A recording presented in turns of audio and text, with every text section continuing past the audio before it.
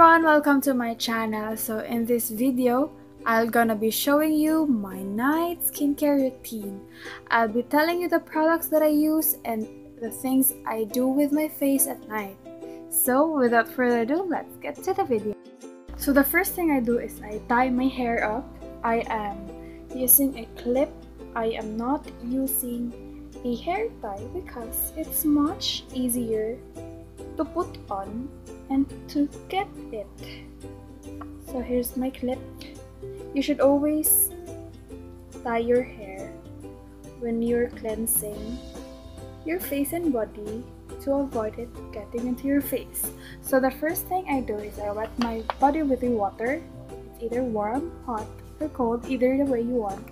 And then I use this Ebony Spa Milk Soap Whitening Moisturizing whitening, smooth and baby skin.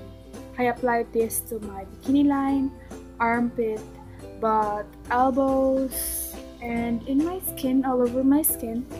After that, I guarantee you'll really have a baby smooth skin. But I'm not yet rinsing it off.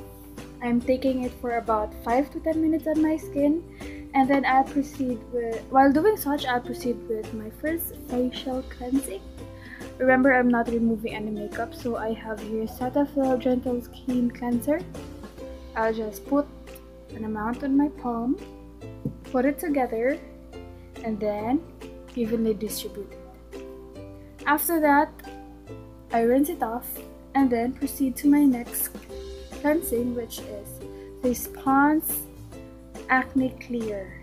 I don't have acne, but I am using this because as you can see, I have little pimples in my forehead.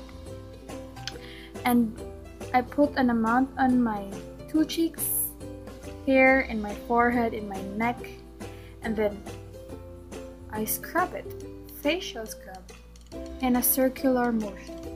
After that, I rinse off my face and then that's the last cleanser I use with my face.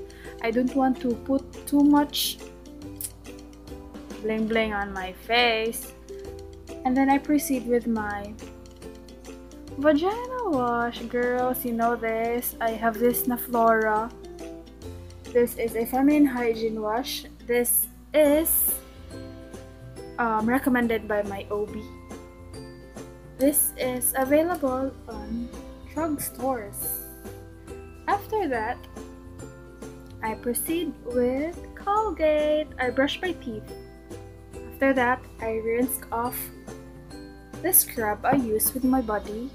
I rinse it properly and then pat dry with a towel and get back to my room.